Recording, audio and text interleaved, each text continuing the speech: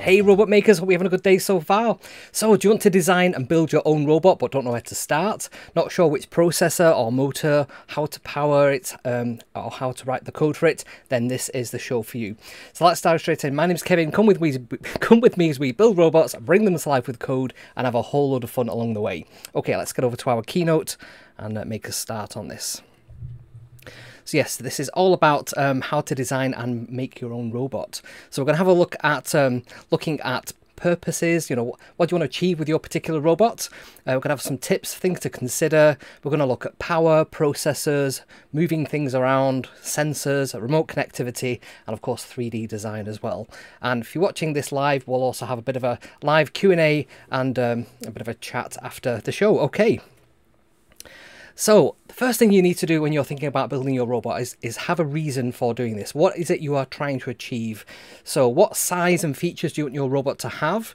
What environment will it work in? So is this going to be an indoor robot, an outdoor robot? Is it for your garden? Is it to wear on your shoulder, for example? Hey, Javon. Um, uh, is it for um, remotely controlled or is it autonomous? So is it going to run under its own power with making its own decisions or are you going to remotely control it with a, a remote control? And um, what are the design decisions you need to consider? You know, is there a weight or height that you need to consider? Is where's it going to operate inside the house? So it needs to be able to sort of, like a vacuum cleaner, go underneath particular things, or uh, or is not not a consideration at all? And how many hours do you need to operate this for? So that will also govern um, the size of the battery or the power requirements for it? And are there any other safety features that need to be considered as well? So if this was a commercial robot working in a factory, for example, it might need to be able to detect people. Um, I saw a completely autonomous factory uh, with one of the companies I work with, and uh, it was quite impressive seeing these massive robots. They call them AGVs, uh, and they sort of roam around this factory, picking up pallets like a, it's like a forklift truck without a driver, but when they whiz around, they can really go at some speed. And if you stand in front of it, apparently it's supposed to stop, but I would not like to try that.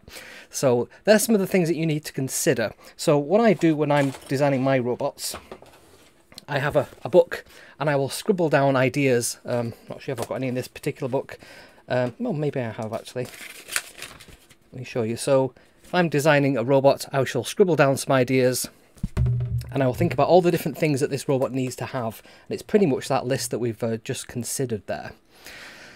So once you've got that in mind, you then need to, like I've got there on there, think about making a sketch of this. It really helps bring the, the idea to life. It helps you really crystallize some of the, the challenges that you might face with it and also it helps you understand how things will fit together. So you know if you've got like a rangefinder at the front and a battery at the back you might consider like you know what's the weight and the balance like where the wheel's going to go how you know what does it look like aesthetically? Um, not all robots have to have a purpose. Some of them can just be for art for art um, for aesthetic purposes if you like. So um, you know what's the thing going to look like? And this is where you can really freeform without really committing to anything design what it looks like. So the overall look um, can be decided there.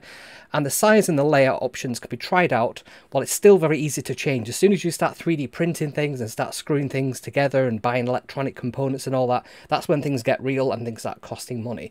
At this point, you know, it's just costing a piece of paper and a bit of bit of lead from your pencil. So this is one of my favorite stages, just sketching things out. And a lot of the ideas I have probably don't make it to fruition, but um, it's just good to sort of sketch these out.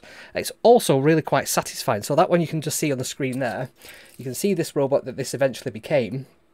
You can see even like the, uh, the, the, sort of froggy sort of look at its face, uh, the way that the motors um, are underneath there. Uh, that one pretty much was bang on, even though that was a simple sketch. So robotics is the intersection of three different disciplines. So you've got mechanical engineering, you've got all the physicality, how things are going to physically fit together. Some people are really naturally gifted when it comes to this and things like mechanisms. Um, they can just they just get it, they just understand it natively. Um, electrical engineering is all the electronics, wiring things together, um, all the sensors and really low level stuff where it's um, uh, you know a mixture of a physical device and also an electronic device that sort of sits in that sphere.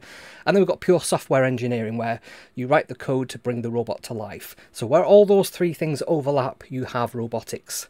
I've tried to have a, a, go at filling in what sits in between the various different disciplines, but uh, to be honest, that's just a bit of guesswork. So between mechanical engineering and software engineering, they don't really fit together well as in this Venn diagram area. So I've sort of said 3D design probably sits there. So when you're thinking about 3D design is something you're using software to bring a design to life in 3D. And where software engineering and electrical engineering fit together, that's where you have like control systems and control theory where we have mechanical engineering and um, electrical engineering. Um, that can be called mechatronics, although mechatronics can encompass all of robotics as well. So it's the kind of interplay between those two different things. And I think it's just important to understand that you might have strengths in one of these areas and weaknesses or areas to develop in other areas, uh, and just accept that and just understand that they're areas where you can sort of um, improve upon later. So for me, mechanical engineering is one of the areas uh, I need to sort of develop in. Other things to consider, smaller robots are easier to make. One of the reasons I have so many of these small robots, sort of desktop hand-sized robots, is because they're very quick to build. Um, you can print out a 3D printable robot, you know, in an afternoon. Um, so they're very easy to put together and iterate upon. If you create an absolutely gigantic robot like this, uh, what's that called? A gun Gundam? Gundam? It's a Japanese sort of manga style robot, but they, they have a, quite a few of these that absolutely the size of a skyscraper. They're absolutely huge. So yes, if you want to build robots, I would say start small because it's much easier to uh, to develop and to learn with one of those. They also have a low center of gravity. If you have a robot that's very tall, you're then going to have to deal with the fact that this thing's going to sort of sway around and be a bit unstable. So you might need to consider that. Um, a lot of the time, robots will have the battery right in the middle of the uh, the robot's center of gravity, and that just helps it become more stable uh, and easier to control. Another thing to consider is that wheels are easier con to control than feet. If you are making a robot that has some kind of feet, like a spider, a hex robot, that kind of thing, um, they are much more trickier to, to, to develop as a, as a learner because you have to consider about the very fact that as this robot leg swings round, You've got the fact that there's going to be some sort of centrifugal force, there's going to be forces that you have to deal with in your code, and you might need to have a sensor that can detect that as well, so like an IMU that can detect what orientation your robot is in, uh, given its walking cycle. You could just ignore all that and just hope that it works, uh, and that's what a lot of very basic robots do. They'll just have a, a walking cycle and they will fall over um, if, if, if it just so happens to be on a different terrain. Wheels are much easier to control than feet is the is the tip there. Tracks are more forgiving on um, more challenging terrain, shall we say, than uh, wheels. Wheels can get stuck. So I've got quite a few different types of robot on my desk here. If I just grab one of these. Um, this one, the SMARS robots, have this really nice track these are all 3D printable as well, which is quite neat. And if I sort of let you zoom in just there, you can see that these little white pins that are holding the track together. And that's just 3D printed filament just sliced up into little pieces. So really cleverly engineered that. And these are very, very... Um, uh, forgiving of any terrain, so they can go over all kinds of stuff, you know, particularly carpet and stuff, but also outside. Um, so yeah, tracks are more forgiving um, than wheels. And if you really are a beginning, you might want to consider getting a starter kit. So I've got a couple of starter kits just to show you here. So the first one um, is from Kitronics, and this is called the Move. I think they have a Move version 2 now. You can just see it says Move there. This is the original one. And this one is actually for the uh, the BBC Microbit. So the Microbit will just uh, plop in there. I think I've... Uh, yeah, you basically have to unscrew this, like there's five little screws there, you unscrew that, put that in, and uh, then it's ready to go. And it's got its battery pack in there, it has a servo for lowering and raising this uh, little scoop thing at the front, and it's simply just got two wheels, and it sort of balances, because the wheels are so close to the ground there, it doesn't need like a, a caster wheel or anything like that, so quite simple robot, um, made out of uh, um, acrylic layers, so quite easy to construct, and it's just made using screws. So it's quite a nice kit that you can get there. There's another one that we looked at a couple of weeks ago, which is the uh, the CuteBot. So this CuteBot here um, from uh, Elecfreaks, this one has a very similar kind of um, uh, board to the BBC Microbit. In fact, if I grab the BBC Microbit there, it's got the exact same pinouts uh, as, as the uh, Microbit. So that one um, is quite a nice robot. Just put that the right way around. And it has uh, a bunch of different things on it. So it's got the uh, the rangefinder.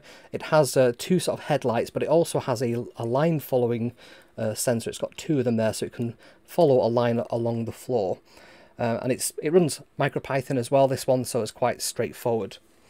the, the microbit one also can run MicroPython as well. They've, uh, MicroPython does run for that. Now there are some other types of board that you might want to consider. This is another Kitronics one actually. Uh, so this one um, has got the, I think it goes that way round. It's got the connector there for the microbit and it's got all these different breakouts there as well for motors and for power. So the power can go in there and then you've got motor A and motor B and you've got all these other uh, connectors on there as well. So what do they actually say there? You've got, sorry, motor A, motor B, you've got input 1, input 2, and then you've got buttons. So sorry, they're, they're buttons, not uh, motors. But yeah, that means that you can build a robot around this. Um, I have got another robot just here. Let's see if I can get this without it falling to pieces. Which has another Kitronics board on it. This one is for, again, uh, another BBC Micro uh, BBC Microbit, and this one is a quad walking robot. So this one has four legs, and each leg has um, two servos, one for moving it that way and one for moving up and down. And the Microbit can sort of just sit in there, and we can power that by um, a LiPo battery as well. Because the Microbit has that really nice JST PH connector on it. Get that to focus on there which means we can plug in all kinds of power packs to there as well. So if you're starting out, you might want to consider with a kit to begin with, get an idea of how robots work, and then sort of move on to building your own. Okay. So next up is power. Now I'm going to do an episode specifically on power um, in next year. Uh, it's one of the most requested uh, shows, I think, from quite a few people, um, because it's one of the challenging things with power. First of all, how would you figure out how much power you need? If you have a battery that's one voltage and you have a board that requires another voltage, how would you do that kind of conversion? What, what kind of boards will help you do that conversion? And also, how long will these uh, um, batteries last for as well? So one of the things you need to consider when you're building your own robot is how long do you need the robot to operate for. So for example, a robot vacuum cleaner, we have one uh, just down here, it's called a Deebot I think, and uh, this one can operate for maybe half an hour before it needs to go and recharge. And it's only operating in this sort of 3 by 4 meter room um, so it can do quite a lot of uh, cycles within it. Basically just as like a random walk and then goes back to its little dock. And then it'll wake up at another period of time and do the exact same thing as well but again a random walk. So hopefully over time you vacuum your whole floor. So you need to consider how long does your robot need to work for? How much power does your robot need? Now you have to get out your calculator your pencil and work this out because each robot is completely different so what you'll need to look at is the voltages and um, the output of the battery. So this little robot I've got just on screen at the moment is a really, really tiny robot. It's um, almost like the size of a matchbox and it's designed around two N20 motors. The motors are sort of sat opposite each other like that. And then on top of that we have the, uh, the motor controller, the motor driver board, which is an L298N board, I think.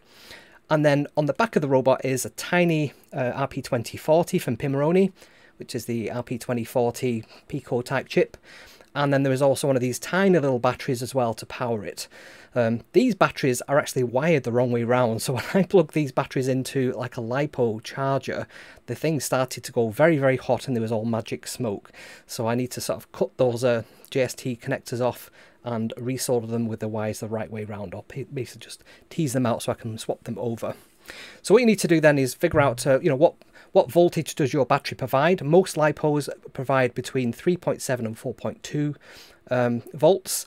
Uh, so 4.2 is like the upper end of it's fully charged. 3.7 down to about 3 volts is usually, you know, flat. Um, so you'll need to take that and then run it through like a buck converter or some kind of power boost from I think Adafruit call them power boost. They have the power boost 500 and 1000 depending what your needs are. So I've used quite a few of those in my robots too. So what what contributes towards the power draw? Well, there's things like the motors themselves. Are the motors going to be continually on or are they going to be on for a, a short period of time and then stop? That will change the uh, the battery profile. If they use servos, do the servos again need to be on constantly. Are they holding um, a position? So if it's like a, a cat or a dog robot, if it needs to hold its body sort of in shape, then it's going to take a lot of power to do that. Uh, the sensors actually require power as well. So what kind of sensors are you using and do they need to be, you know, do they need to have quite a lot of power draw?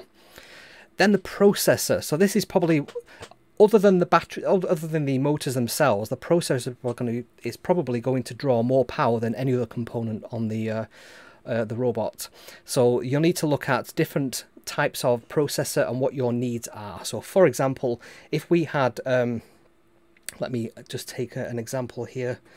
Um, one of these feathers, so this is a feather version 2, Huzzah 32.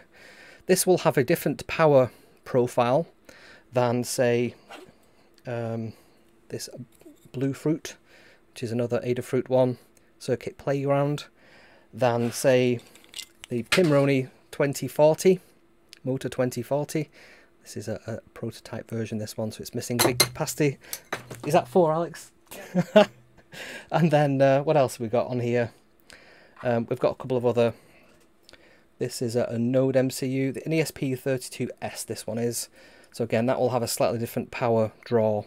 Probably quite similar, but um, to the uh, Huzzah because they're both uh, ESP32s. But again, depends what you do with it and how much. If you are using both cores and you're running the cores constantly to do, I don't know, some kind of edge AI, that might require a lot more power draw. So you tend to get on each of these components, there will be a specification that you can download and it will tell you exactly how much um, power this will use, peak, average and uh, minimum.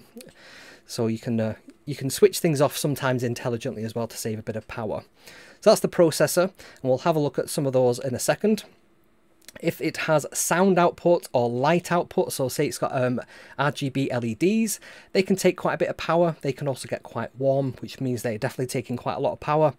And finally, if you've got like a wireless or a Bluetooth connectivity or an infrared, again, they will also draw power. So Wi-Fi is particularly heavy on power whereas Bluetooth 5.1 or BLE, which is the Bluetooth low energy version, that takes a lot less power. So I've not got the figures in front of me for each of these, but what you need to consider when you're building your robot is each robot has a different power profile and therefore a different uh, requirement for that.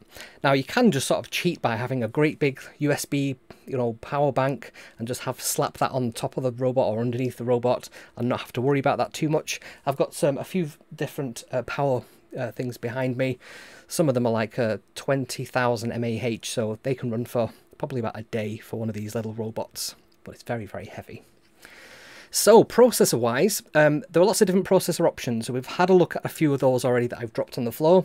And here we have um, a few examples when I took a picture earlier on. So we've got the uh, the Pico LiPo on the very left hand side there. Above that we've got the um, Arduino, I think it's called the RP2040 Connect or Nano Connect. That's basically a Raspberry Pi Pico, but on a, an Adafruit um, device.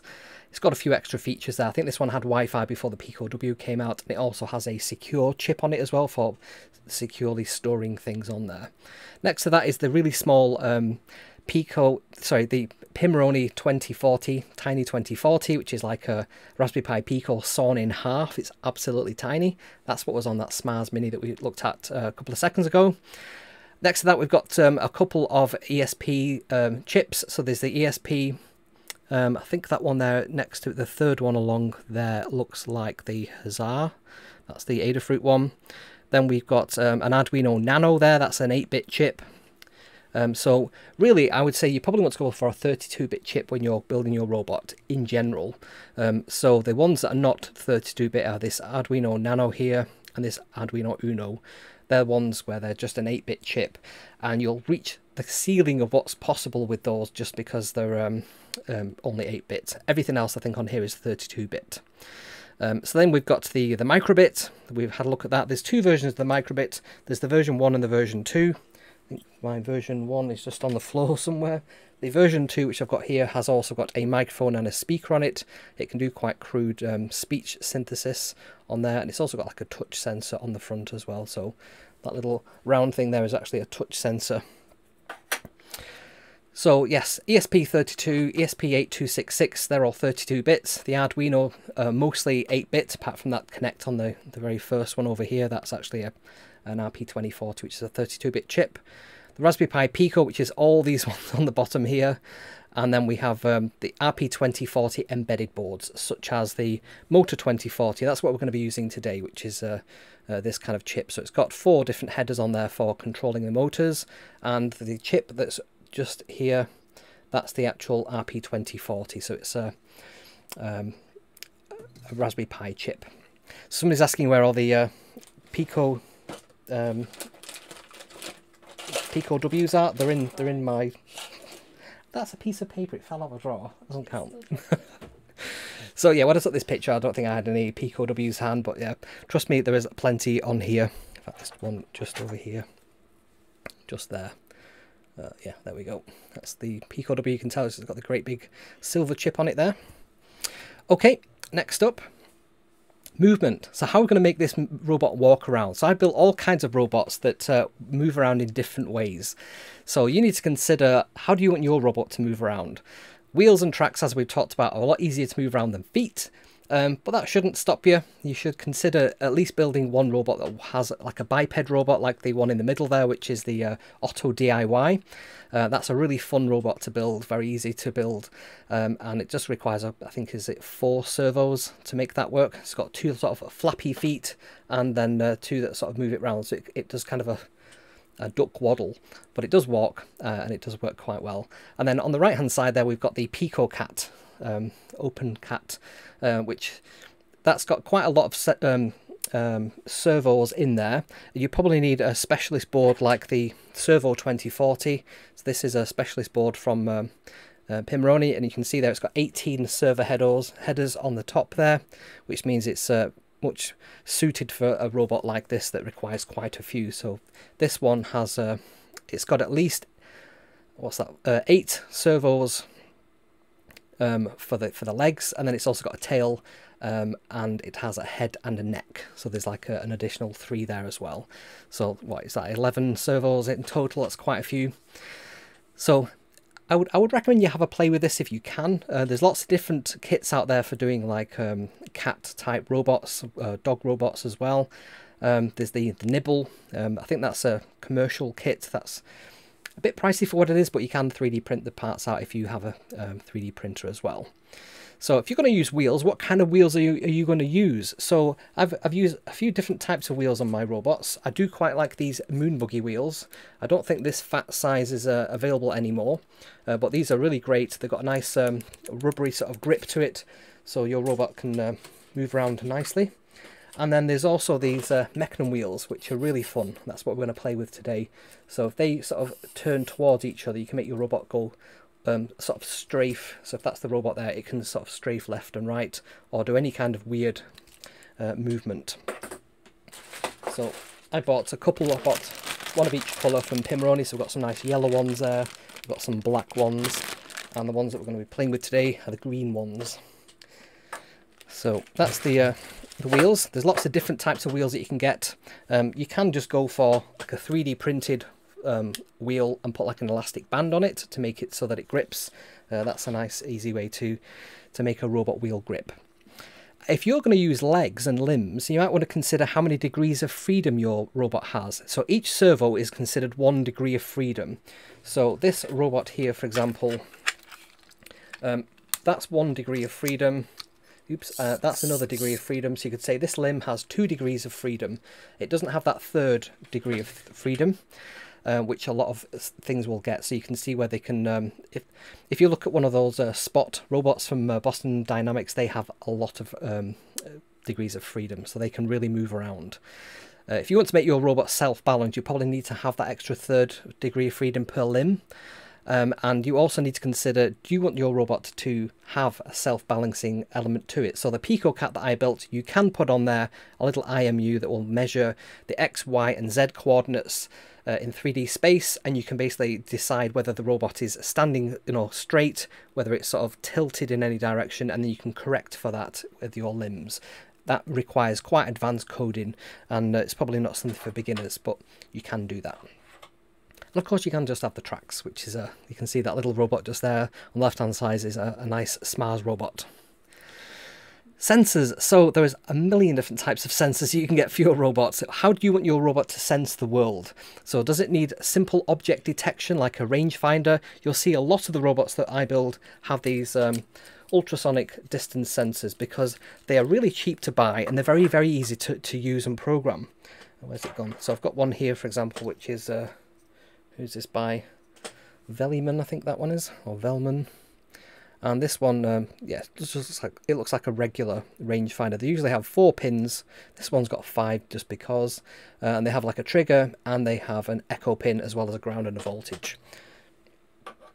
So it makes it very easy to code. We can um, we can detect how far something is in front of us, and then we can have a, an algorithm that says if something is within a certain distance, stop, turn, you know, either left or right, and then try again, you know, test to see if there's something in front of you. And in that way, you can make your robot detect the, the environment that it's in and avoid obstacles or follow obstacles. If you want this to follow another robot, you can have them all in like a, a line, and one at the front can be moving around, and the, all the others are keeping within a certain distance. So, do you need simple object detection, or do you want to have some really advanced, more complex object recognition where it can detect faces or um, smiles or or hand gestures. You can do all that kind of stuff with with these robots.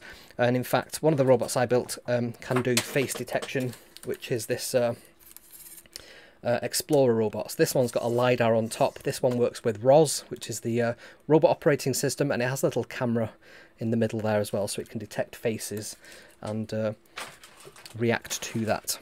So you need to consider what kind of object detection or um, recognition do you need for your robot and what other detectors do you need to have on there. So do you need a temperature sensor a compass? Do you need to know like what orientation you're in? Uh, a distance sensor a 3d orientation? So you know the imu uh, is it just colors that you need to detect? If you're building a robot that can like solve a rubik's cube you might just need to be able to detect a single color. Uh, what about a 3d scan? So this lidar um, has a laser in the, uh, in the front of it and as it spins around it can detect the distance in 360 degrees a couple of times a second to build a real-time map of its environment. So there was a video that I did on this uh, quite a while ago, so check that one out if you want to know more about that. Um, I think that's called like ROS uh, mapping, and we'll, we'll, do another show on that uh, later in the year, uh, next year. And what else do we need? So RFID tags. So some people have built robots where you, you essentially have like a card and you can tap it onto a, a sensor, an RFID sensor, and the robot will then do a different piece of code or will act in a different way. Or maybe it uses these as like waypoint markers so that when it goes over a particular RFID tag, it knows where it is. Infrared is another um, way of detecting the environment. So my um, vacuum cleaner that I have under this uh, desk here. That has a an array, it's probably about seven different uh, infrared detectors on there, and the base station has one infrared detect, uh, one infrared um, light on it. Um, so when it wants to be able to find its home base to go and charge itself, it can use that little beacon to detect with its uh, five in they're in like an array in a circle. And you know if this one's stronger if this signal is stronger than the, this signal over here it knows to sort of orient itself towards um, the center so that the center one has the strongest signal. And then at some point when it gets within a certain distance it'll do a 360 180 degree turn and then reverse into the charge point and get charged up uh, there's Bluetooth beacons as well. Um, you can detect um, a Bluetooth signal and then the signal strength if you know where the beacon is and you've got a map predefined for that. And then finally things like sound and light levels. So you want to be able to detect you know the amount of light in a room or also um, what the sound is like you know so is it a voice um, command that you're giving to your robot or is it just sound levels is it going towards or moving away from uh, sound or just recording the sound Okay, remote connectivity. So how do we want to be able to com communicate with our robot? Do we need to be able to remotely control it or do we want to be able to communicate with other devices like through MQTT for example?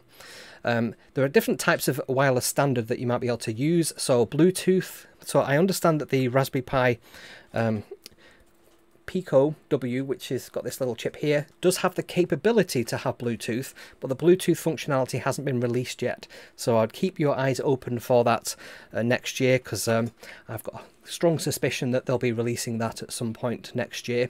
And that'll mean that all your Pico robots can then have Bluetooth low energy on there as well. And that'll make things like building remote controls for your Pico based robots really, really something that you'll want to do.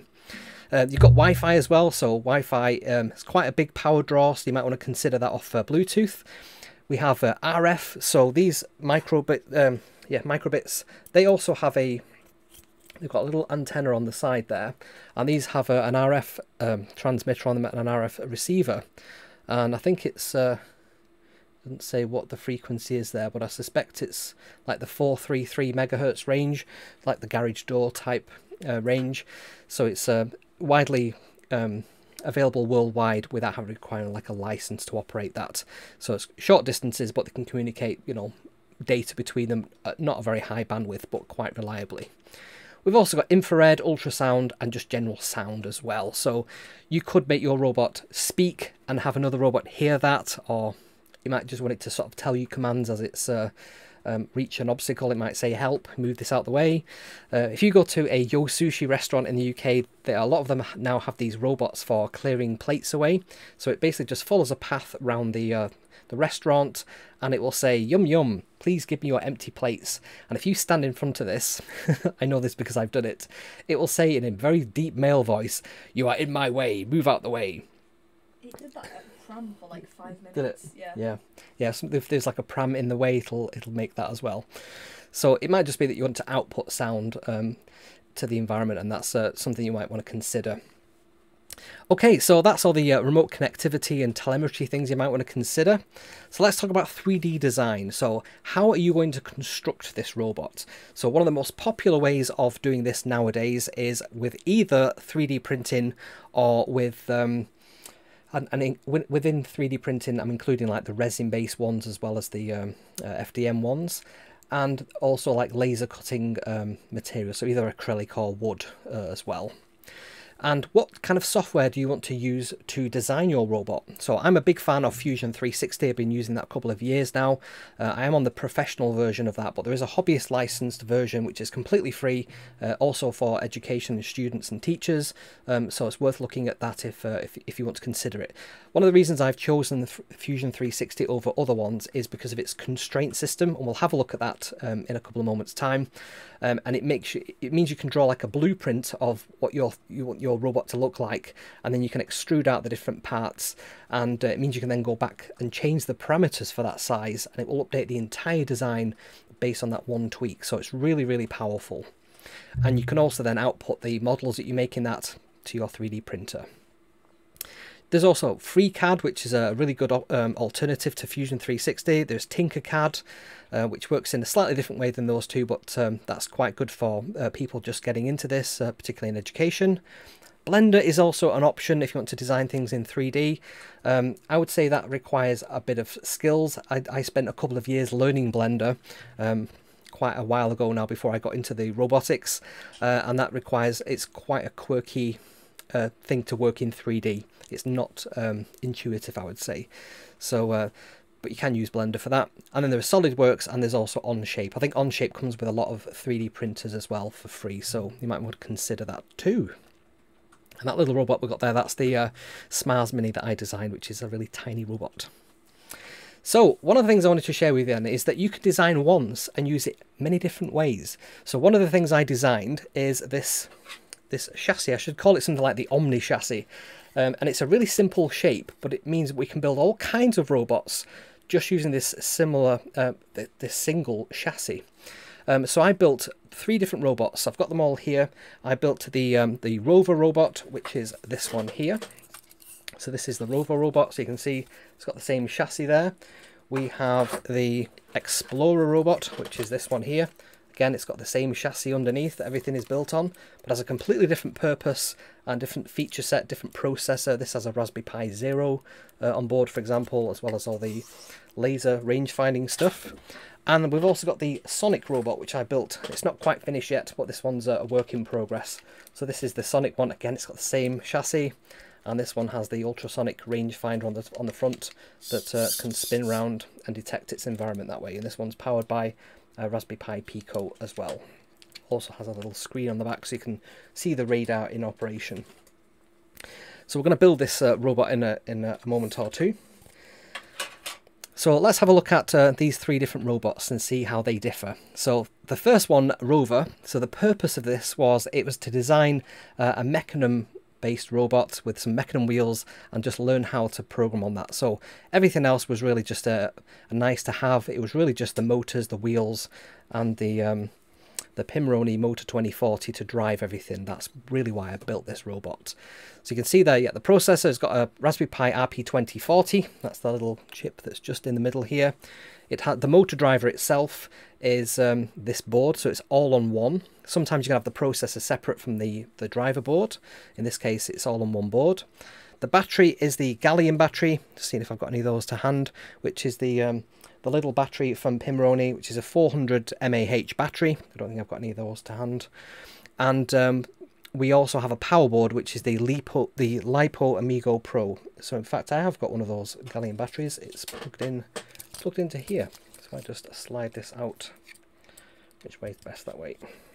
I can show you what this looks like. So there's a tiny little battery. That's the Galleon battery just there. Let's go full screen for this so you can see this. So the Galleon battery is just there. There we go, Galleon. And it says on there 400 mAh, 3.75 volts. And it's got a nice hard case to it so it can take a bit of a bashing. And that can basically just go underneath the, uh, the main board just like so. Okay. And then what I've also got on here, we'll just have a look at that, is the LiPo Amigo Pro. So that's there, if I just press the power button on there, you'll see all the wheels sort of spring to life. There we go. Uh, and that uh, essentially connects between the battery and the uh, the main board. You can see these two wires that are soldered on there just provide the uh, the main board with power. Okay. Uh, what else we've got? So the, the motors themselves are the... Um, let's see if I've got one of those to hand. Yes, I have. There we go just show you that. So this has got a Mecanum wheel on it. And these are the, uh, we'll have a look at these in a bit more detail in a second, but these are the Pimoroni um, MMME uh, motors. So it's like micro metal, micro metal uh, motor encoder. So it's got an encoder wheel on the back, uh, which means that it can detect how many times round the wheel has spun, and it can give that information back to the robot, so it will know whether the robot is actually doing what it expects it to do, you know, has it turned the right number of times and so on. Um, so that's it's got four of those. I think they're between 50 and 150 RPM. It has a ultrasonic rangefinder on the front, so this means it can detect things in front of it. I've actually not got this uh, connected up because again the real purpose of this was just to have fun with the uh, Mecanum wheels. And the chassis is the single piece um, chassis that we've looked at, the Omni chassis, which I'm now going to call that, that we've looked at earlier. So that's the rover robot. Explorer next. So Explorer is a LiDAR, LiDAR robot for use with ROS. That's why I specifically designed this to, to house this uh, LiDAR unit that I bought. I think this is about 80, 80 90 pounds. And it's essentially a single um, laser time of flight sensor but that can spin round and it can spin round many times per second and um, this means that uh, it can detect its environment in three in in a kind of slice, not really 3D, kind of a 2D slice, but it can detect walls and so on and feed that back. And if you're using something like ROS, you can then build that into a map. I think there's like a Hector SLAM thing which enables you to sort of build up in real time a map and it will it will know where the walls are and kind of remember that they're there and then as it moves around the robot it can then understand where it is in its in its 3D space. So this has the um, Raspberry Pi Zero. So there's kind of like a, a stack of uh, different cards there. If you look, you can see just if I hold this up, you can see there there's some little standoffs and then there's the that's just the, the ribbon that's going to the camera there. So we've got the Raspberry Pi Zero, I think that's a Zero W as well. And then we have the Explorer hat, which is a Pimoroni um, hat for connecting up motors. And I think some of these wires need a bit of resoldering on here. I can see ones come off there. But um, yeah, essentially they just, the motors are just connected up as a pair. Each side is a pair. And then they can then connect up into the, uh, the Explorer hat to be controlled. And it does have the rangefinder as well as a camera as well. So it can detect objects and feed that back into ROS. Okay, so that's um, what else we got on there. So the LiPo Pro for converting the power again. I love these LiPo Pro, Amigo LiPo Pros, so there's an example of one of those. So it has two connectors on there, JST uh, PH connectors, and it means that you can connect up a battery. Uh, in fact, are they ZH or are they PH? No, they're PH. Um, so yeah, you can connect up a device as well as the battery, and then you can charge it with like a USB-C thing there, and you can just sort of simply turn it on and off with this this button here as well. So if you've got your your LiPo battery like this one, we can plug this in. Caught it, I didn't drop it. We can plug this in to here.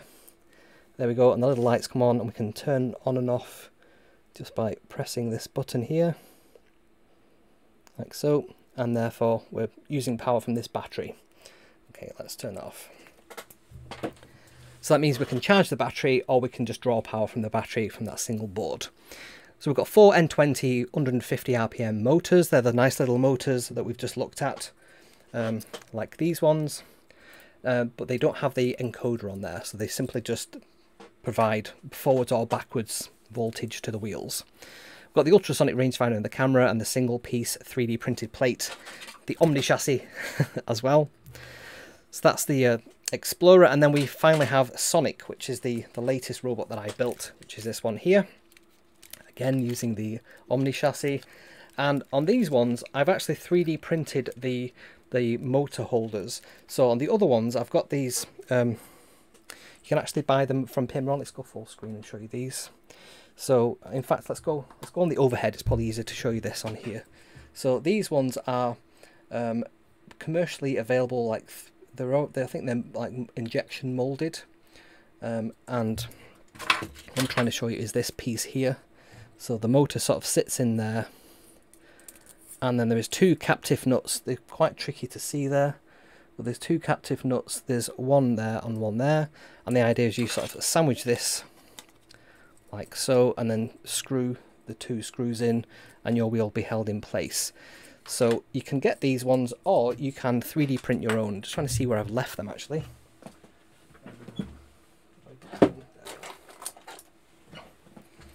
Here we go. So these are the ones I've 3D printed and they work just as well. Um, you can put the captive nuts underneath and uh, put like a, I think these are an M3 screw through there and they'll work just as well. So we'll have a look at uh, how to design those in a couple of seconds time. Okay, so that's the uh, the Sonic robot. So this one is a Pico W based robot. It has two L298 drivers on the back, uh, which look like these little red things here. So if I just if I just put this into place and then just hold it in place there, you can see that there is two red boards. Each one of them can control two motors each. So if we want to be able to control all four motors, we need two of them. And then there's some header pins which are just going to be connected um, to the Pico. Um, so this also is powered by the Galleon battery. So there's like a little pocket in here where the Galleon battery can sort of slide in there. Uh, which is nice, it means we can replace the battery if we need to, um, if we want to sort of quickly swap out another one to charge it, or we can use the LiPo Pro, which is just connected underneath here. It's probably easier for me to show you this in 3D, but essentially, yes, if I just look at this diagram here, this is where the Pico lives. Um, the um, Galleon battery sort of goes in this little pocket here, and then just on... I've said that wrong. So the Pico goes on this piece on the bottom here, these little standoffs, and then that's where the LiPo Pro fits on there. Um, so the LiPo Pro converts the battery into the correct voltage for the board, like 5 volts and 3.3 volts. It's got the four N20 150 RPM motors. It's got the rangefinder on the front, and the rangefinder has an extra servo motor as well. So it's able to sort of spin round and do like a 180 degree sweep of the environment in front of it. So that's the, um, the Sonic, and of course that uses the Omni chassis as well, because why would I not reuse that? Okay, so let's have a quick look at some of the design decisions I made for the robot, and then we're going to build this this uh, particular robot. This is the Rover. So this was a Mecanum wheel robot. That's the why I built this, to play with the Mecanum wheels. I also built it so that I could play with the uh, the Pimoroni Motor 2040 and use the MMME motors, which are the um, the ones with encoders on there. So they require six pins um, to be able to operate. And that's because they can take the readings from the sensor as well as giving it power and um, telling it exactly how many rotations to make. So this is designed for an indoor use only. This really won't work outside. In fact, it's not really very carpet friendly. It requires like a really flat floor. And that's because these Mecanum wheels, um, they, they spin in a very sort of um, they haven't got a lot of room to spin round, so fluff and things can get trapped in them quite easily. So you require quite a tidy, clean environment to be able to use these on. I think they are also used on um, forklift trucks, so in like a warehouse, and they tend to have a nice flat concrete floors as well. So this is indoor use only. It's autonomously controlled, so it's going to run a program, and it's just going to run the program on the, the board. We're not going to actually remote control it or give it any kind of feedback from the environment. It's just going to run um, a standard piece of code. And we only need it to run for about an hour and it's really quick to construct as well. So one of the reasons I designed this uh, Omni chassis was it's a single flat piece, it's three millimeters thick. So because it's completely completely flat, I've just got a little sticker on there to stick on the uh, the LiPo Amigo Pro, just to hold that in place when I'm uh, using that. But other than that, it's completely flat, as you can see there. It's three millimeters thick, pretty rigid, um, and it means we can just stick everything onto that board and, uh, you know, we're cooking with gas. Okay. So here's the blueprints for the uh, the chassis. I wanted to sort of share this with you just to show you how simple this is. So it's essentially a rectangle that's 70 millimeters by 90 millimeters. We have some little um, tabs, if you like, which are just for the wheels. So they are um, there's it's a, sort of trapezium shape, and th the point between that point and that point is five millimeters, similar there and there. It's 8 8.5 millimeters tall, and it, the top piece there is 16 millimeters. So uh, it's it's basically 26 millimeters on the base there, and it's anchored at that little corner there. I do apply a bit of rounding to these as well, a fillet. So I think there's like a two millimeter fillet uh, on each corner just to make the thing look a bit more pleasing. Then we have a 21 millimeter wide piece here, which has got a 10 millimeter flat piece, and then sort of an arc which is tangent to that 10 millimeter piece. And then on the back we have a 12 millimeter deep piece which has a 48 millimeter um, trapezium piece there. And if you basically just anchor that um, using Fusion 360, it'll work out all the other pieces like uh, you know, what angle that needs to be and so on. So that's the blueprints for the chassis. And then the blueprints for the, the motor holder these look a bit complicated, but really it's all focused around the size of the nut. So if you get some M3 nuts, if you uh, make it so that it's 5.45 wide, and then it's hexagonal, so all those three interior lines are the same 5.45, and uh, it'll work out what the rest of them is. Everything else is based around that. So we, we draw a circle, and then we say, okay, we want the, the base of the circle to be two millimeters from the bottom of that point there and then another two millimeters to the top there that will give us our radius of that circle and then we have a 10.5 millimeter drop from the edge of the board so as we look at our board like this we're going to look down uh, 10 millimeters so that top edge there is the is basically that top edge there. So it's 16 millimeters wide if you remember from the previous diagram so that defines that point to that point. And then we're going to basically have like a 12 millimeter so these are 2 millimeters thick walls for the holder. And then we essentially just said 4 millimeters from that top point to that point there will define the rest you know the, the whole height of the thing. So that's how we define these um, they disappeared too these motor holders and these are really really a great idea because it means you can put a captive nut inside, screw it from the other side, and they're absolutely locked into place. And you can 3D print as many of these as you need to. So the other thing to consider with this particular robot is the center of gravity and also um, the center of the robot.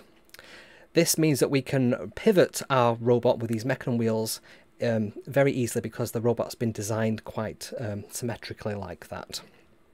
Okay, you caught that one there, Alex. There's a some spam in the chat there, I think.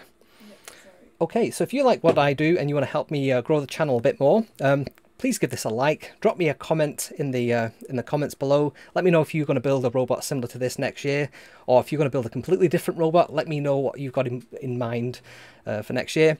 And also, if you've not already subscribed to the channel, please do consider subscribing. It really does help the algorithms sort of pick up that this is a worthwhile channel and shares it uh, wider with everyone else. Okay. I do go live every single Sunday at 7 o'clock GMT. Uh, I think that's 11 o'clock PST, I think. Uh, if you're over in the States, that's a quite a popular time zone that keeps coming up where people sort of say, when is this? so there you go. So I do go live every single uh, Sunday.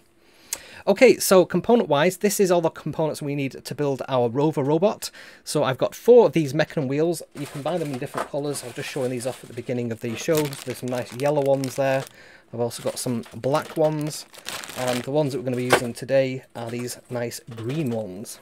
So I think they're about £24 for a set. Seems quite expensive, but there's a lot of moving parts. Each wheel has uh, a number of uh, rotating parts, and they're quite well made, these, so it's, uh, it's worth it. So we've got four of them. We have one rangefinder, which is, um, just going to use this one here today. I've actually not got these plugged in just yet, but I will use that in future. We have the four standoffs. So standoffs are these little hexagonal barrel things, which means that we can uh, we can rise up the um, the motor 2040 so it's not sat completely on the chassis. It just gives the robot a bit of uh, height, a bit of three dimensions as well. We've got the motor holders, we need four of them. We need four N20 motors or equivalent. I'm using these um, MMME motors today, which have got the, the connector on there, as, which means it's easier to connect your wires into.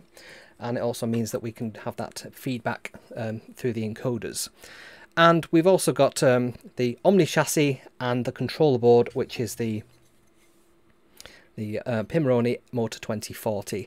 The other things I've not listed on here is the with the Galleon battery, or I've got a different type of uh, LiPo battery here, but this one does have that JST uh, PH connector on there, and also the um, the LiPo Amigo Pro. Yep, LiPo Amigo Pro, which is the little power board as well. Okay. And the Mecanum wheels, they are available from all good retailers. you can also 3D print that your own if you really, really want to. So I think on Thingiverse, if that's still going, there's a part there you can you can 3D print your own. I really wouldn't recommend you do that, to be honest. I would just say get the... You, will regret it if you've, you've wasted a lot of time trying to 3D print it and they don't work properly. They really need to be quite smooth uh, and not have any, have any sort of artifacts on there. And then the encoders, this is what they look like. So these, you can either buy them as a completely um, pre-soldered kit or you can get the motors that have got the extended shaft on there and you can put the um, the encoder onto the back solder two little points and then um, add the Hall sensor to the back of it. So these encoders will count the number of revolutions that the uh, the shaft makes. So the shaft is different than the um, than the motor's spindle because there's a gearbox on the front there. So it will very, very accurately measure the number of times that the, the shaft has spun round. So therefore we can we can actually count how many times our wheel has spun round. And that means we've got like ultra precise positioning of our robot. So we can say, turn the wheels round precisely this number of times and then turn back precisely that same number. We can then check to see, did they rotate that number of times and correct for that um, or not. So the encoders are connected to the end of these N20s, provide feedback to the motor, the microcontroller, and that gearing means that the encoder can rotate a number of times um, that can rotate more times than the spindle itself. And these gears are 50 to 1, meaning that the, the ratio between the encoder and the actual shaft is, is that 50 times per rotation of the wheel. Okay, and here's a bit of an animation just to show you. I did this one uh, quite a while ago, uh, but I thought I'd just show you again on there. This is how encoders work. So you've got that little wheel. It's got um, some kind of... On this one, I've got a hole. You can have ones which are uh, infrared based and they've got like a, a light sensor and a light uh, detector or you can have ones which just use like the Hall effect um, or you know, essentially a couple of magnets and um, some sensors to detect that magnetic field changing. Um, so the encoder wheel will detect those changes and therefore it can count how many times in which direction. It usually has more than one hole so it can detect the direction that these things have uh, travelled in. Okay, and then the the other thing is you can um, yeah you can strafe with these wheels. You can go sideways, which that's a, a really nice feature of these uh, these wheels. That's really why you want to play with them. So they're fitted in a particular orientation. So we'll have a look at what that is. So when you, and I need to make sure I do this as well, you'll see that the, the, the wheels have like an orientation so that they have like a diagonal 45 degree spindle and we need to make sure that the spindles all point towards the center of the robot. Otherwise the mechanism, uh, mechanism won't work properly. Okay, it's time to build our robot. I'm really excited. Right, this is where I drop loads of stuff and we, we, we have a half-built robot. So let me get over to our overhead and let's see if we can uh, we can do this. So I'm going to start out with the uh, the 3D printed. You can see there's a bit of a matter there from the 3D print bed. And um, I've also encoded, I've included on this one a couple of extra holes. So these are the mounting holes. These four holes are for the um, the uh, where's it gone? The Motor 2040 board, which is just sat here actually. And um, this is where the the front of the robot's face is going to go. So that's the uh, the rangefinder holder and we simply just push the rangefinder into place there. And I've designed these to be friction fit so they can just push in and they're not going to fall out. They're just going to be nicely pushed together there. Okay, so the next thing I need to do is put these little... Now, which ones do I need to do first? Let me just think. Let's try this first. So I'm going to put the these little screws into the back. And I just need to find my screwdriver wherever I put that. There it is. And, and then I'm just going to screw four of these in and they're going to connect to the, the standoffs. So I think these are M2 screws, I think. So these little standoffs are these like little barrel things. I'll show you that. And essentially what we just do is just screw the barrel into place like so. And that's just going to give us a bit of like a, a raised area where we can plug the um, um, Motor 2040 into. Okay, so I just need to do three more of these. I'll just do these as quickly as I can. This is a live build, so anything could happen. but luckily, it's quite a, safe, a straightforward robot to build this one. There isn't a lot that can go wrong, really. So I'm going to just uh, screw that in. And 3D printed plastic is okay to screw and unscrew a couple of times, but you, you'll find after a while that the, the plastic becomes soft as you've sort of chewed through all the material, and you probably need to print out another another chassis. You can put super glue into the thing as you're screwing it if you really want that thing to stay in place. Uh, but super glue is pretty strong. I've actually super glued screw threads into place, tried to unscrew them and ended up tearing the screw in, in half actually. So the last one here. Okay, so this is the last uh, screw for the standoffs. Let's just screw that into place there and then we can turn this over and we can screw these two last standoffs in place. They only need a couple of finger tight screws and then there we go. Now obviously I designed this so that the, the screw holes are exactly where they need to be. So you can see there that they the screws the screws align perfectly where they need to be. So I can just very quickly screw these in place. Let me just grab the screwdriver easier to do that if I'm holding it like so.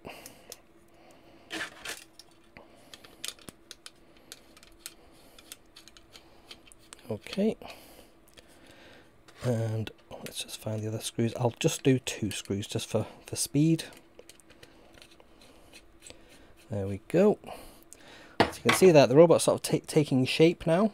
So we've got these uh, four connectors there. They've got six pins um, uh, on each of them. And we have these special connector wires.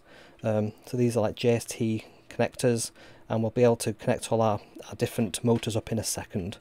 So the next thing that we need to do is get our motors. So I've already put the uh, the captive screws into place there. You can probably see them just in there. And these, there is actually like slight indentations on here. So the idea is we put it so the uh, the motor is like this.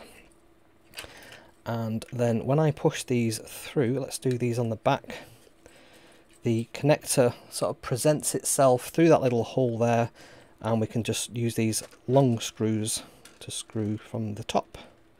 And they'll screw into the, uh, the captive nuts and hold the, uh, the whole thing in place. So let me just make sure I've got that right trying to do this, show you it at the same time as uh, aligning it myself. There we go.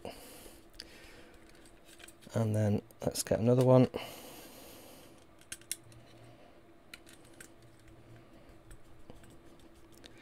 They're a bit fiddly to do these ones. I think that's it. Okay. So there we go. So that's the first one in place there. We just need to do the other three. Try and do these as quickly as I can. Now I've actually got two different types of uh, connector here. These are the left ones and these are the top ones. And you can see there that the orientation of the connector is slightly different. Uh, unfortunately, you can't put them in that orientation. The motors are, are not designed. They're not um, completely rounded, if you like. The the um, the height and the width are a different dimensions. What I'm trying to say there. So we, we'll use a different technique for the ones at the front. Okay, so let's just put this one into place. That's that one there. Okay, screw this into place. You have to entertain people, Alex, while I'm uh, doing this. okay, and then the last one for this particular one there. You can sort of feel it grab hold of the, the nut and I'm not doing these too tight, I'm just doing them so I can feel it uh, grip. If I screwed too tightly it would just crunch the plastic because uh, there's I think there's like 50% infill inside of these. Right, so the next ones, what I'm going to do now, I'm going to start connecting up the wires because I need to put the wire through the hole because these ones, when they're in place, um, you can see there that the that little connector thing isn't presenting itself through the hole, it's sort of being hidden. So I'm actually going to have it in this orientation so that these face forwards, like so, and then the cable's going to go through that little gap just there. So that's what these are for, they're just sort of to hold the, the wires in place. And what I want to do is use this other robot as a guide to see what size of cable do I need. I've got two types of cable. I have a short cable and I have a long cable. So depending where the uh, the motor is. So let's just plug that one in. They simply just push in like that. Really nice and simple. That's them connected up now. Let me do the next two. So the back ones are the short cables. So let's just uh, plug that the right way around. Like so. And then that one goes into there as well.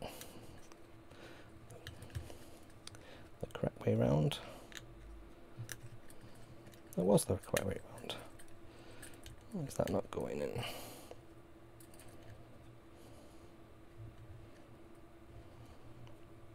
Like USB cables, you try it one way, it doesn't work, you try it the other way, and that doesn't work either, and then you try it the original way, and it goes back in.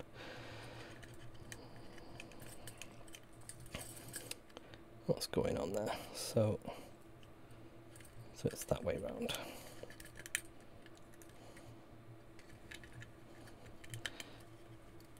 Okay. It really didn't want to go in there, did it?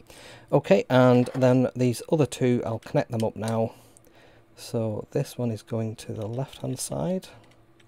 So C is going to the left-hand, the that one there. So I'm just going to shove that through that hole. We'll pull it back as and when we need, and I'll do the same with the last one as well. So that's going to go like so. And then I'm also just going to shove that through that hole there as well. Okay, now they don't need to be that far through to be fair. They probably only need to be about that, that kind of distance like so. Okay, so let's get that one in the right orientation. Uh, so how did I do this last time? I think that's the wrong way around. That looks better. Yep, there we go. Right, so just need two more screws for this one. And then we're very nearly done then. They're quite a quick robot to put together these. Once you've 3D printed the parts and you've got all the other bits and pieces to hand. I mean, what's this taking me? About five minutes. Like so.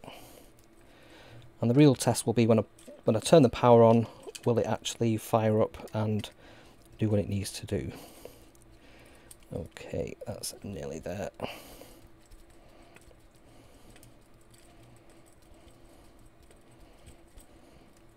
It's not quite grabbing hold either, the nuts slightly come out there.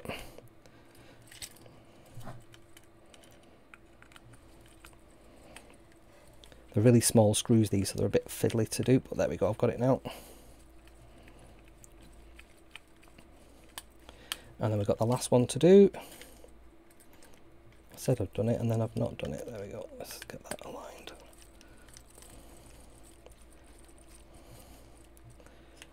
There's always one that proves a bit more difficult than the rest. Right, that's good enough for now. And then the last one, let's just put that in place there. Sure our cable is going through. It's all fingers and thumbs at the moment, this piece, and then it'll all come together in a second. So just bear with me. I'm sure this is fascinating to watch.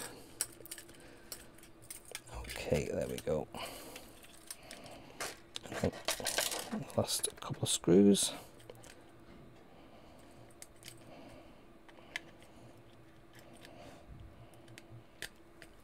Wish you could see all the comments streaming. I need to get a new, a new another monitor up here, Alex. I think so I can see what people are seeing.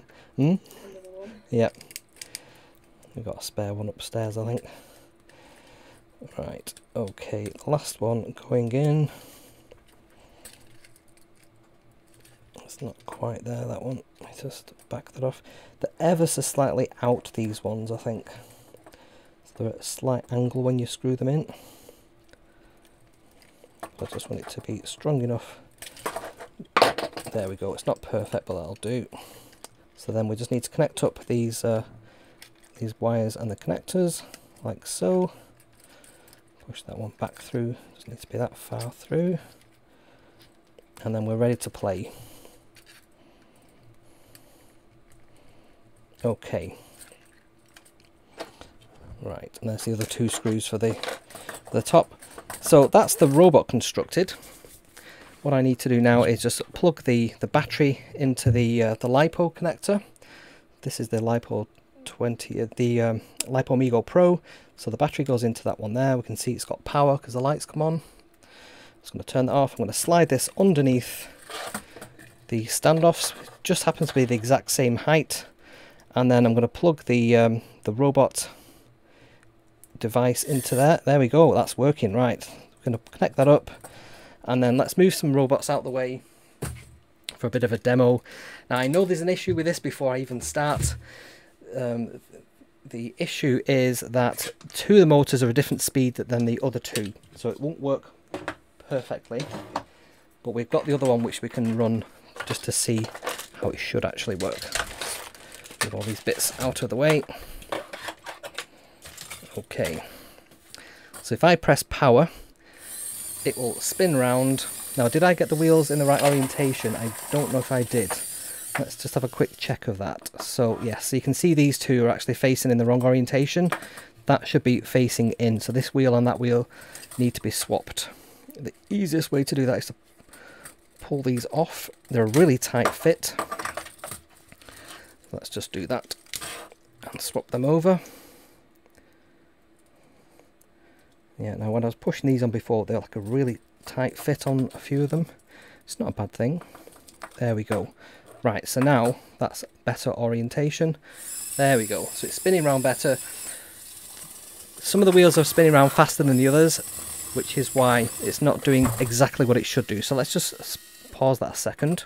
And I've got my other one, which has the correct wheels and the correct motors and everything's good to go. So if we run the code here, this is what it should do. Oops it goes backwards, it can spin on the spot, it can spin back on the spot, and then it can go sideways. Look at that. And then there we go. And it's doing that autonomously because it's completely self-powered. The battery is underneath there. We've got the LiPo Amigo Pro there. We've got the Motor 2040 controlling all the wheels. And these encoders are telling exactly how many times each wheel is spinning round. And like I said, the only problem I've got on here is I didn't have the exact same uh, speed of wheel. So some of these are 150, some of these are 50, I think. And that means that the wheels are not exactly this the, the motors are not exactly the right speed so there we go we've built a robot very quickly based on that omni uh, chassis and we've gone through why we've built what we built all the different design decisions included and we've 3d printed all the different parts as well including these uh, these motor holders as well so the only parts we needed to bring along were the electronics and most of the electronics, if not all the electronics, I think are available from Pimoroni. So um, when they have stock of all the different parts, you can build one of those too. So I think I've got a slide that tells you a bit more information about the uh, Rover robot, just in case you want to build your own which is this one here. So if you go to kevsrobots.com slash rover, you can download the 3D printable files, the Omni chassis, the motor holders, as well as the rangefinder holder at the front. And you can get a, a list of the bill of materials as well for all the different parts that you would need with, with the links to the the parts themselves, I think, as well. There's also a Mecanum Robot video that I did a while back, so if you go to YouTube and that's a link there, I'll include that in the description of the show um, when I update the show notes after the show, and uh, you'll be able to link through to that one, or you can just find Mecanum Robot, it'll be that nice uh, robot there, which is our, this one here, looking all nice.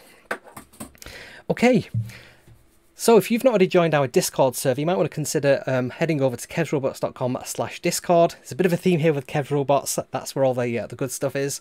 Uh, if you sign up there, you get a link and then you can join our Discord server. And I'll be uh, talking to people in Discord over Christmas as well. And if you're not following me on social media, I'm on all the different places. So on TikTok, I'm Kevin McAleer 6 On Instagram, I'm just Kevin McAleer. On Twitter, I'm on uh, KevsMac and on Mastodon, I'm kevsmac at mastodon.social, uh, and I post to all those different places as well throughout the week. And uh, if you want to help support the show, uh, you can do that. You can get your name in the credits as well by doing a super thanks. So let me switch on Stream Elements so that that uh, kicks in now. And you can also go over to kevsrobots.com slash coffee if you want to buy me a coffee. And some people have been amazingly awesome this past month and they bought several coffees. We'll, we'll call those people out in a second. And of course, if you want to to, to join the YouTube membership program, you can do that as well.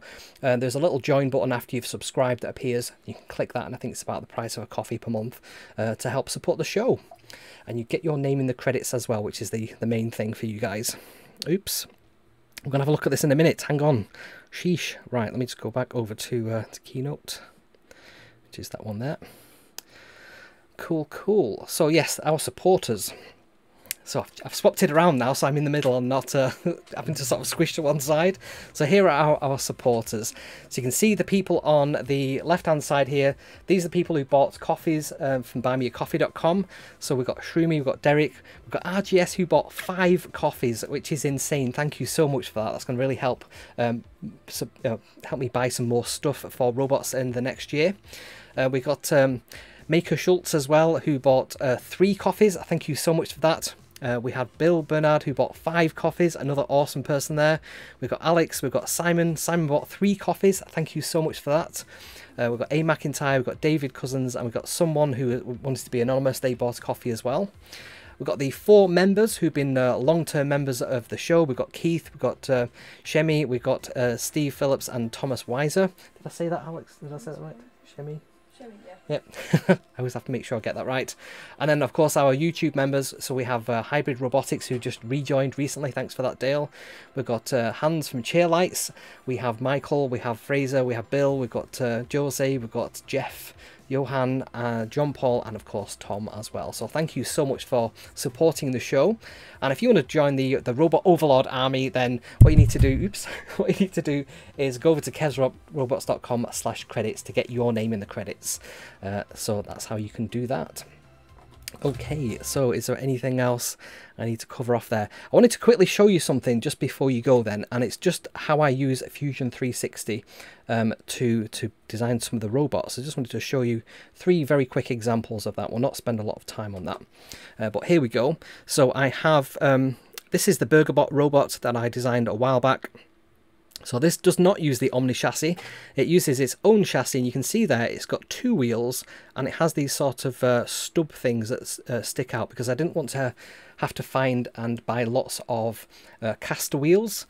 Um, so this is a really easy way of sort of cheating that. It's designed to be like a desktop robot, so it doesn't need to have like a hard-wearing um, caster wheel or anything like that. The main thing that it was to do was to make a robot that can draw. So you can see there, there's a little mechanism. We've got a servo. If I spin this round like so, you can see there, there's a servo and there is a, a little toothed mechanism.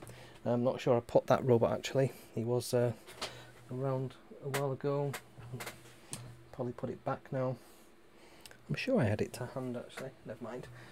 Um, so yes, that one has um, a pen that can move up and down with that nice little sort of toothed mechanism. Really, really satisfying. That has the Galleon battery. It runs off a Raspberry Pi Pico. Has the LiPo Amigo Pro as well in there for sort of power management.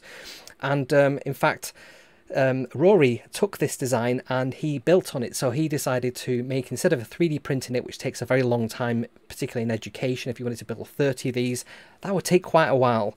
So he decided to to use this design uh, as an inspiration and build a burger bot that's uh, laser cut. So the laser cut using, I think, some um, MDF, and that means that they can build lots of these robots very quickly for their students so they can have, a, if not one each, one between two. So that's the burger bot. That's um, one of the later creations. We've then got the uh, um, Sonic robot I originally got to call it the radar robot, but this is the Fusion 360 design of all the different parts. So again, we start with the Omni chassis, which is just uh, this piece just here.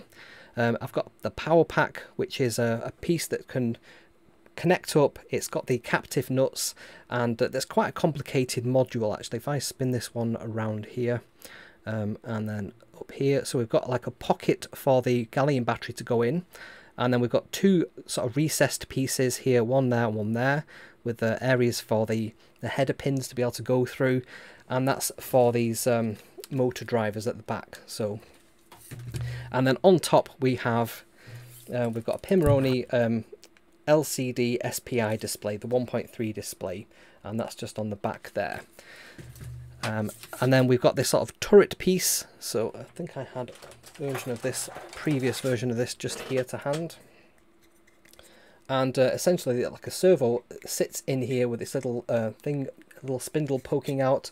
And then we can put another piece on top there that can then hold the rangefinder. And it has a little space there for the servo horn. Uh, so if we remove the uh, which piece shall I remove there? Let's go for the base. There you go. You can see that we've got, in fact, there's a motor holder there that shouldn't be there. Let's just turn that off. There we go. So you can see there that the, the servo sort of pokes through that piece there. It also sticks ever so slightly out of the bottom. So if I show you that there, the servo ever so slightly sticks out the bottom um, but it's perfectly designed uh, height wise to be the minimum height it needs to be so that the printing time is, as, as quick as it can be. And it's this has got three captive nuts. It's got two that you can see there and there's like another one which is hidden away inside. If I remove the chassis you can just see that. Thank you Jacob for subscribing to the channel. Really appreciate that. Yeah you can just see just inside there there's a, another sort of inward facing captive nut piece there as well so yes, that's the, uh, oops, let's just uh, put that back on, the base, that's the piece there. And there we go. And sometimes, I'm not sure if I've done it on this one, no, I've not done it on this one, but I can show you on another robot. Um, I join these pieces together and have pivot points so I can actually articulate it and check that all the things work the way I expect them to from a sort of mechanical point of view. So let's just spin that one back round. I think that's the view that we normally have. Um, so that's the uh, Sonic, and then we have the um, Explore robot. So this one, you can see that I've even modelled in the battery, that very same battery that we've got uh, working at the moment. We've got the Raspberry Pi Zero there, we've got the Explorer hat. This one has like an extra layer, uh, which is this sort of white piece here. And again, the idea here is we've got we've got stacks of layers and um, it means that we can then house this on the top out of the way and are reasonably high up on the robot. So it's it's still quite stable um, because it's got quite a wide base the height of it um, I think the height is probably about the width of the the, the base as well. So um, it's got quite a solid foundation for that to sit on there. Um, so that works quite well. And they all use the um, the same Omni chassis there Okay, so that's um, that one. Did I show you that last one, which is the rover, which we've been looking at today? Um, when I actually designed this, the Motor 2040 was a was a hush hush top secret project, so I couldn't actually include any information about that. But obviously, that's now been released, so you can buy these. These are a really great board uh, from Pimoroni. So there we go. We can uh, can see how all that fits together. I've modelled all the different parts out so that we can check all the different um, components fit together. I even had to model out the the um, the wheels, the Mecanum wheels, that, that was quite fun putting that together because they're not um, like a linear shape. These these have a thin bit, a wide bit, and another thin bit. So I had to do all kinds of clever lofts and so on for that. Okay, I can see there's a couple of questions coming through there, so I think this is probably a good time to say if you're watching this on replay, this is the point in the video where I'm going to cut, uh, and uh, you're going to miss out all the live stuff, all the Q&A after the, uh, the show. It's been quite a long show today, so I really appreciate you sticking with me, and I shall see you all next time, so thanks for watching.